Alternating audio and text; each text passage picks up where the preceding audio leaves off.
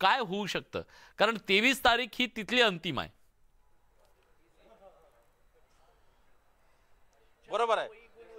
शिवसेना उद्धव ठाकरे पक्षाचे जे पक्षप्रमुख आहेत उद्धव ठाकरे यांचा कार्यकाळ हा तेवीस जानेवारी रोजी पूर्ण होत आहे. त्यामुळे होऊ शकतं ज्या पद्धतीनं माहिती मिळते की या संदर्भात की लवकरच या संदर्भात जो माहिती येईल त्या माहितीच्या आधारावर असं सांगता येईल आपल्याला की कुठेतरी हा जो कार्यकाळ पूर्ण होता त्यासाठी जे दोन पत्र देण्यात आलेले आहेत त्या दोन पत्रांना परवानगी मिळते का?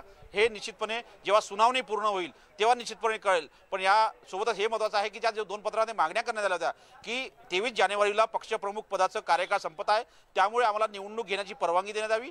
जर आपण निवडणूक घेण्याची परवानगी देणार नसेल तर त्यांनी दुसरं पत्र दिलं होतं त्यामुळे त्यांनी स्पष्ट केलं त्यांचा कार्यकाळ वाढवण्याची परवानगी देण्यात यावी. म्हणजे कुठेही घटनात्मक तर तृप्ती निर्माण होऊ नये असा प्रयत्न कुठेतरी आजच्या या सुनावणीच्या दरम्यान जे पत्र देण्यात झालेली आहे त्या दरम्यान होण्याची शक्यता आहे आणि त्याचमुळे आजचा हा संदर्भात केंद्रीय निवडणूक आयोग काय निर्णय देतं हे देखील पाहणं अतिशय महत्त्वाचं असेल कारण की हे अतिशय क्लिष्ट प्रकरण आहे. या क्लिष्ट प्रकरणासंदर्भात तेवीस जानेवारीला कार्यकाळ पूर्ण होतो. निवडणूक घेण्याची परवानगी द्या असं एक पत्र. निवडणूक जर घेऊ देत नसेल तर आम्हाला कार्यकाळ वाढवायचे या दोन्ही आम्हा याच्यामध्ये विन विन पोझिशन जर बघितली उद्धव ठाकरे पक्षाचा आहे कारण की त्यांना एक शिवाजी महाराज छत्रपती संभाजी महाराज हे महाराष्ट्राचं आराध्य दैवत आहेत आणि त्याचा सार्थ अभिमान आपल्या सगळ्यांनाच आहे. आणि म्हणूनच हा निर्णय देखील आम्ही घेतला आहे जनतेच्या मनातला निर्णय घेतला आहे आणि म्हणून विविध स्तरावर जनतेमध्ये या राज्यामध्ये मोठ्या प्रमाणावर या निर्णयाचं स्वागत होतं आहे आणि म्हणून आजही मला अनेक लोक भेटायला आले आणि त्यांनी या निर्णयाचं स्वागत केलेलं आहे. शिंदेसाहेब कालपासून पंतप्रधान मोदींची सभा तर चर्चेत आहेत परंतु त्यांच्यासोबतचे आपले व्हिडिओ मोठ्या प्रमाणात व्हायरल आहेत.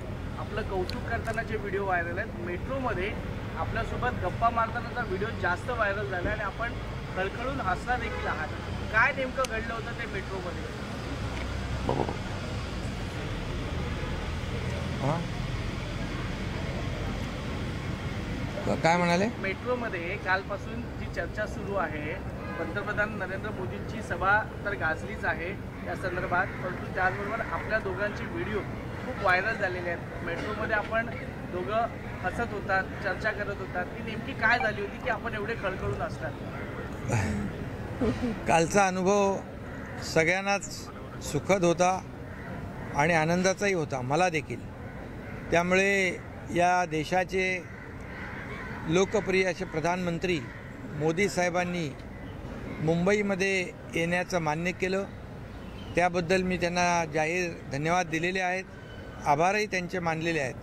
खरं म्हणजे मुंबईतल्या विकासाला काल सुरुवात झाली खऱ्या अर्थाने. आणि ती देखील मोदी साहेबांच्या शुभ हस्ते सुरू झाली.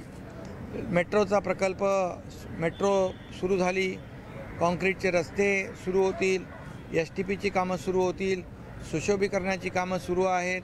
बाळासाहेब ठाकरे आपला दवाखाना सुरू झाला आहे हॉस्पिटलची भूमिपूजनं झालेली आहेत. असे अनेक प्रकल्प जे मुंबईकरांच्या हितासाठी आम्ही सुरू केलेले आहेत आणि पुढे भविष्यामध्ये मुंबईकरांचं जीवन सुसह्य करण्यासाठी मोदी साहेबांनी काल त्याचं भूमिपूजन आणि लोकार्पण केलं. आणि त्यासाठी ते आले होते. त्यांच्याही मनामध्ये मुंबईच्याबद्दल एक आपुलकी आहे. मुंबईचा विकास त्यांच्या डोळ्यासमोर आहे आणि म्हणून त्यांनी कालच्या सभेमध्ये मुंबईच्या विकासाला महाराष्ट्राच्या विकासाला निधी कमी पडू देणार नाही अशा प्रकारची ग्वाही दिलेली आहे. त्यामुळे खऱ्या अर्थाने या मुंबईच्या विकासाला चालना मिळालेली आहे आणि त्याच्यामध्ये जे काय आनंदाचे क्षण होते त्यामध्ये त्यांनी देखील काही माझे मुद्दे होते त्याला दिलखुलास दाद दिली हा त्यांचा मोठेपणा आहे. आणि खरं म्हणजे या देशाचे लोकप्रिय प्रधानमंत्री खऱ्या अर्थाने दावोसमध्ये मी गेलो तेव्हाही त्याची मला प्रचिती आली तिकडे. त्यांची लोकप्रियता पूर्ण जगभरात आहे. आणि त्यांनी काही मुद्द्यांना काही माझ्या काही दावतच्या आठवणी होत्या काही इकडचे काही प्रसंग होते त्याला दिलखुलास दाद दिली. काय काय किस्सा घडला साहेब? महाराष्ट्रामध्ये मोठ्या प्रमाणात गुंतवणूक घेऊन आलेल्या पंतप्रधानांनी कौतुक केलेले आहे. मात्र विरोधक टीका करतात की जे दावोसमध्ये एमओईज झालेले त्यांचं अंमलबजावणी होईल का? ते प्रत्यक्षामध्ये उतरतील का ते सर्व करा खरं म्हणजे मला सांगायला अतिशय आनंद होतो आहे आणि समाधानही वाटतं आहे कारण दाओसमध्ये वर्ल्ड इकॉनॉमिक फोरममध्ये मला आपल्या राज्याची बाजू मांडण्याची देखील काँग्रेसमध्ये संधी मिळाली. काँग्रेस म्हणजे एक तिकडे एक फोरम आहे मोठा.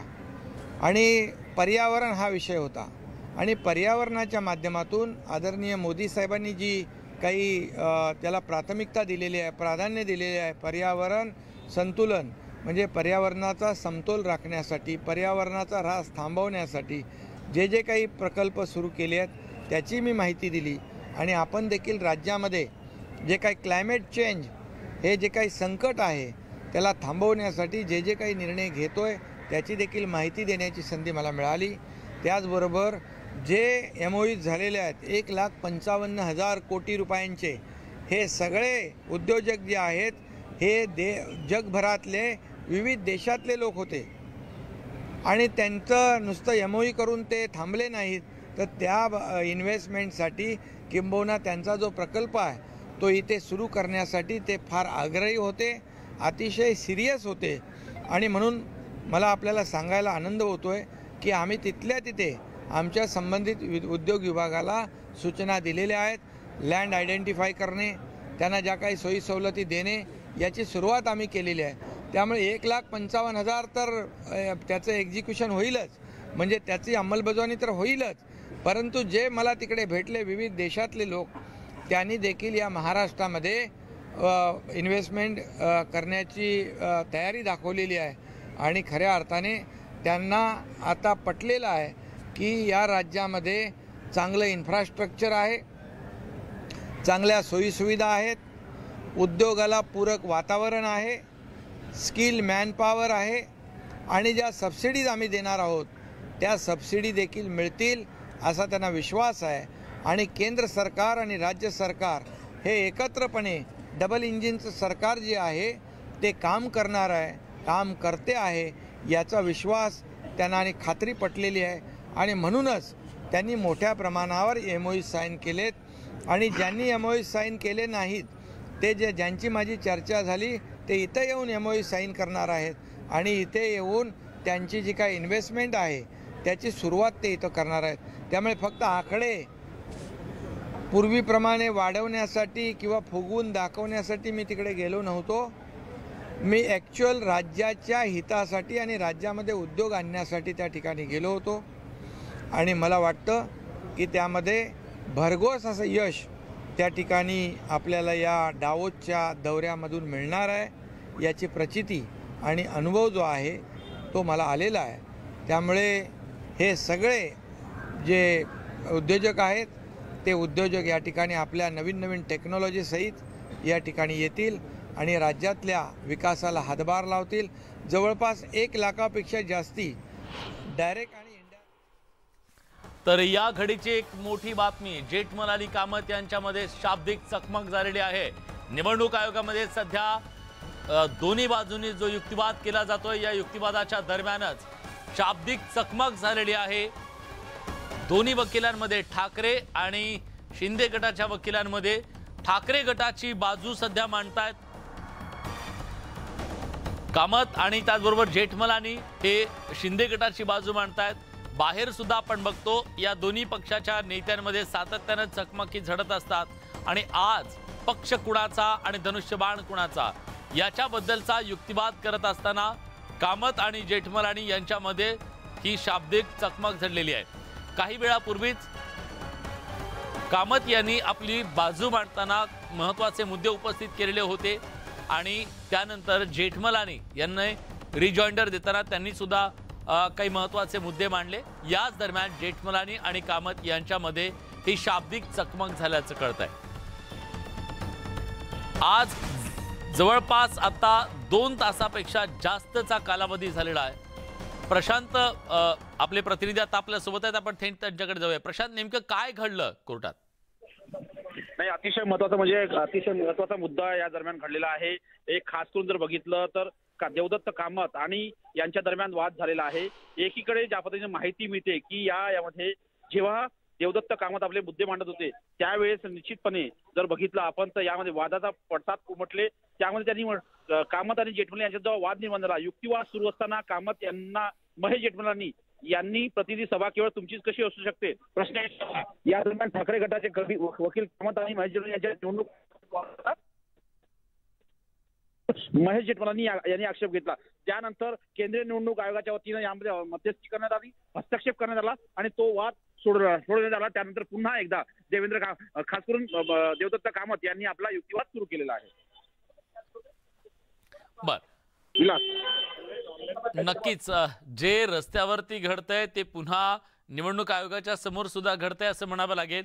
पण देवदत्त कामत यांचा हा युक्तिवाद कधीपर्यंत चालू शकतो? सहा वाजून गेलेले आहेत आणि अजून त्यांना किती वेळ युक्तिवादासाठी मिळू शकतो?